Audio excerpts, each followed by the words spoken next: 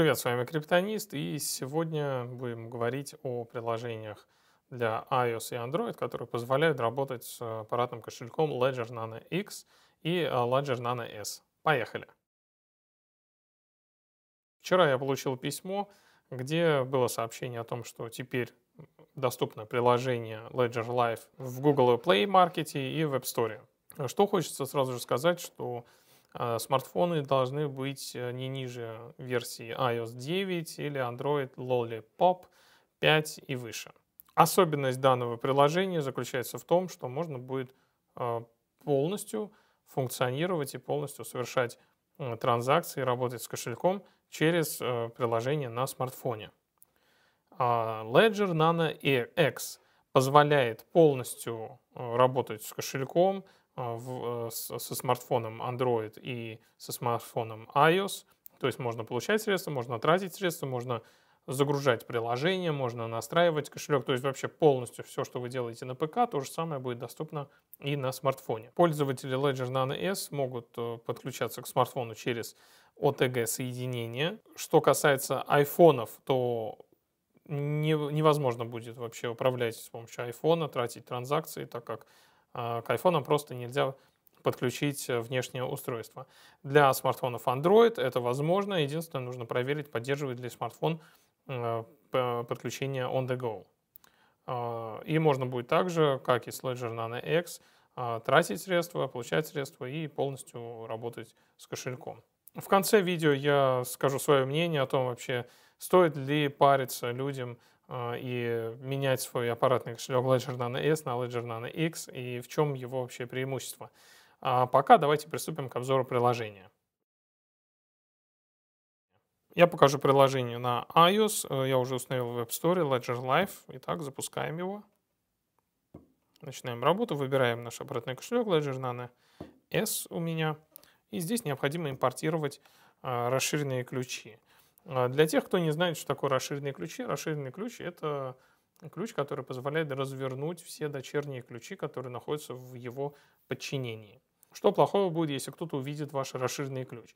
Никто не сможет потратить ваши средства, но этот человек сможет увидеть все транзакции, которые совершались в прошлом, все транзакции, которые совершаются в настоящем, и все транзакции, которые будут совершаться в будущем в периметре этого счета. Поэтому ну, утеря этого ключа расширенного сильно бьет по вашей конфиденциальности.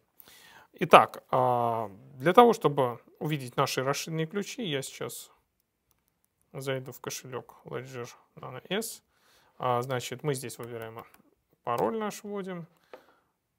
И далее необходимо нажать на кнопку Settings и Export Accounts, то есть их экспортировать. Нажимаем Export.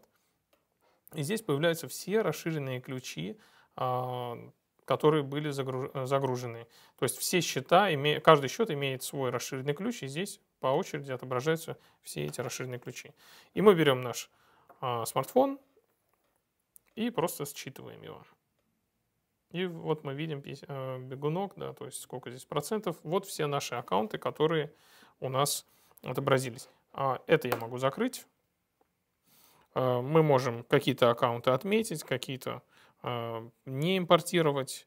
Нажимаем кнопку «Далее». Здесь нам предлагается установить пароль. Ну, я установлю какой-нибудь простенький пароль. Touch ID, тоже я этот шаг пропускаю. А, ну и предупреждение, да, с ними я знаком. Далее это уже настройки самого а, приложения, то есть здесь передача данных по улучшению приложения, передача каких-то ошибок и так далее. Я это все, в принципе, не люблю, я отключаю всегда, жму «Далее». И все, вот наше приложение. Мы находимся в так называемом портфолио, Здесь у нас отображаются все транзакции. Сверху мы видим, э, что у нас загружено 6 аккаунтов. Вот здесь написано. А, у нас есть э, график. Э, в фиатной валюте он отображает все, все наши, весь наш баланс. Ну, график также можно его подтянуть и отобразить в виде года, месяца или недели. И далее у нас идет по хронологическому порядку все наши транзакции, которые мы совершали, И если, например, мы кликаем на какую-то транзакцию, здесь открываются ее детали, и у нас есть, значит, здесь написано, какой аккаунт, какая дата, сколько комиссий мы заплатили, ID транзакции, какой был вход, какой был выход. А, да, и confirmed 67721 – это количество блоков, которое прошло в момент, когда транзакция утвердилась. То есть это количество подтверждений. И здесь есть также кнопка View on Explorer, то есть мы можем перейти в обозреватель блокчейна и посмотреть нашу транзакцию и все данные нашей транзакции в обозревателе блокчейна блок шифер. А, ну, здесь, в принципе, все то же самое написано. Так, возвращаемся обратно. Закрываем транзакцию. Ну и также там по любой другой транзакции, например, вот биткоин, а, все то же самое, сколько блоков было, ну, сколько подтверждений, то есть наш аккаунт, дата и все вот эти данные. И также можно перейти в обозреватель блокчейна. Здесь блокчейн инфо уже. Это у нас транзакции, то есть они хорошо загруппированы, объединены, здесь все достаточно хорошо видно. Далее у нас идет э, раздел счета. Здесь мы можем отсортировать счета по, да, по имени или по а, наибольшему балансу. Вот у меня наибольший баланс, это Ripple, 390 рублей. И, э, в принципе, когда мы кликаем на, на сам счет, то отображаются только те транзакции, которые э, в рамках этого счета. Есть э, возможность также и сразу же принять, но об этом немножечко позже. А что у нас здесь еще есть? Здесь есть настройки самого аккаунта. Можно назвать аккаунт, точно так же, как и в Ledger Live и можно отобразить, в каких единицах отображать наша, то есть Litecoin, Mila Litecoin или Toshi. И также можно установить поставщика а, данных и количество подтверждений, которое необходимо, чтобы кошелек нам сказал, что транзакция а, прошла успешно и она подтверждена. А, ну и в самом конце мы можем удалить вообще этот аккаунт отсюда. Кстати, почему бы не сделать это? Are you sure? Да.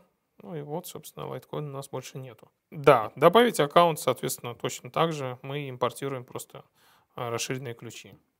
А, далее идет раздел Transfer.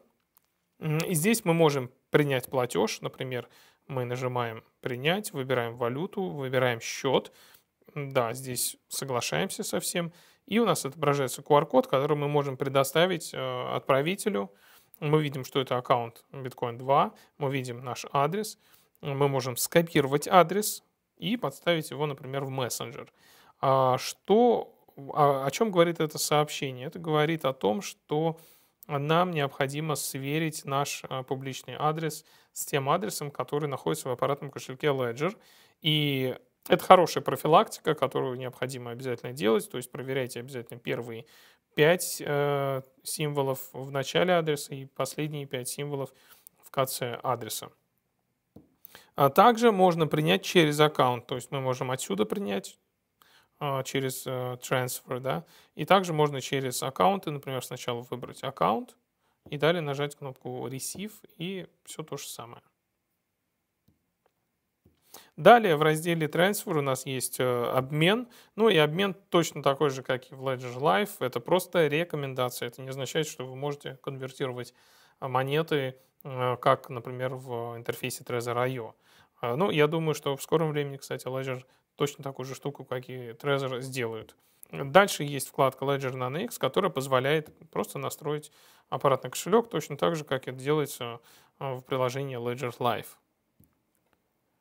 А, так, и э, настройки, то есть у нас есть общие настройки, где мы можем выбрать фиатную валюту, э, поставщика данных, установить пароль, установить Touch ID и отправку данных, и Developer Mode, который позволяет работать э, с дополнительными приложениями. И отсюда я хотел бы перейти к вопросу, стоит ли менять Ledger Nano S на Ledger Nano X. Основным отличием Ledger Nano X перед младшей моделью является наличие Bluetooth соединение. Это означает, что можно будет работать э, с вашим кошельком полноценно на смартфоне. То есть вы можете получать средства, вы можете тратить средства, вы можете производить настройки вашего кошелька, вы можете загружать, удалять приложения. То есть это добавляет э, мобильности для работы с вашим э, кошельком. Многие пользователи э, сомневались в надежности использования аппаратного кошелька и Bluetooth соединения, но э, когда задали этот вопрос Эрику Ларшевеку, он сказал, что э, Ledger Nano X работает уже с, так, как будто по Bluetooth соединению уже прослушивается и скомпрометировано. То есть все действия в любом случае вы будете совершать на аппаратном кошельке, вы будете сначала сверять все данные перед совершением транзакций и потом уже подтверждать это на устройстве. Также вторым существенным преимуществом является увеличенная память. Они обещают, что до 100 приложений можно будет загрузить. И это будет актуально для тех людей, которые достаточно часто сталкивались с нехваткой памяти на аппаратном кошельке. В целом, принцип работы этих аппаратных кошельков – э, един, то есть приватные ключи находятся в кошельке, и любая транзакция потребует подтверждения на самом девайсе. Спасибо вам за просмотр, ставьте лайки, нажимайте на колокольчик и подписывайтесь на наш канал. Если у вас остались вопросы, пишите в комментариях. С вами был Криптонист. Пока!